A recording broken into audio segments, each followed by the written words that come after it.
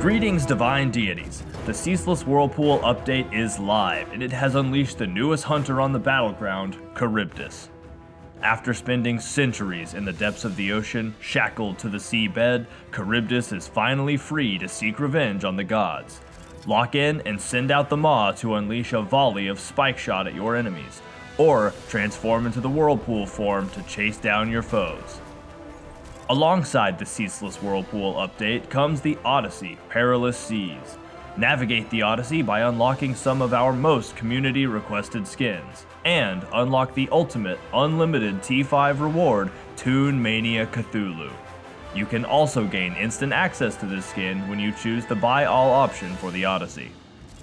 We are also going to be rotating out the classic Joust map and bringing back the Chinese Joust map. This Chinese map will be the active map for both casual and ranked queues. But Classic and Jade Corruption Joust maps can still be found in custom games.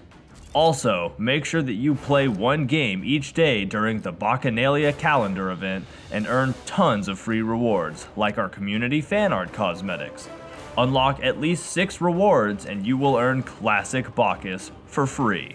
You can check out all of this amazing content coming out with the update today. Who's ready to party? I see what is, what was, and what shall be. The portents never lie. Another journey filled with danger and the unknown. I wouldn't have it any other way. What do you mean? I'm Neith.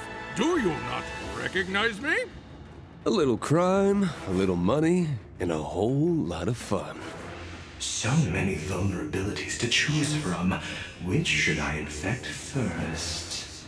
The world! It's mine for the taking! I stand for the Order. Systems online. Threats assessed.